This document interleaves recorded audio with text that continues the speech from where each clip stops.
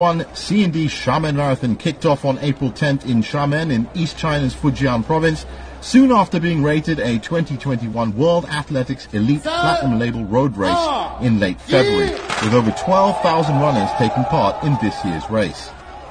And it was 34-year-old Chinese athlete Yang Dinghong who would win the men's crown in 2 hours, 15 minutes and 25 seconds.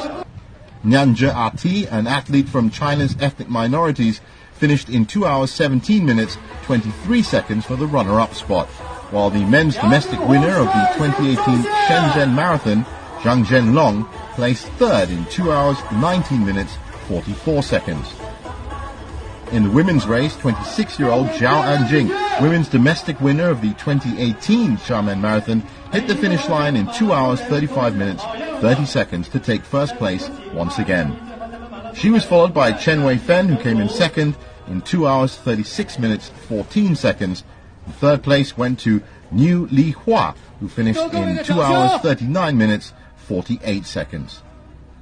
After years of sedimentation, Xiamen Marathon has a very good service system. For example, the new one-to-one supply service saved me a lot of time to find supply drinks. It was very helpful for me and improved my result. I hope more runners from both home and abroad will join Xiamen Marathon next year, said Yang Dinghong, the men's champion of the 2021 C&D Xiamen Marathon.